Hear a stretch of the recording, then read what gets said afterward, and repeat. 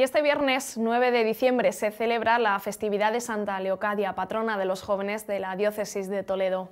Por ello, la Delegación de Adolescencia y Juventud ha preparado varias actividades para celebrar esta semana.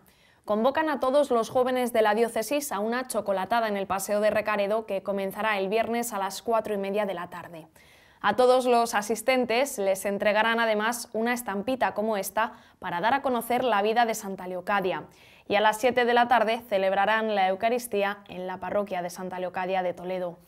La Semana de la Juventud concluirá el próximo sábado en el Santuario de los Sagrados Corazones con una luz en la noche, en el que los jóvenes darán testimonio de su fe llevando a otros jóvenes la palabra de Dios.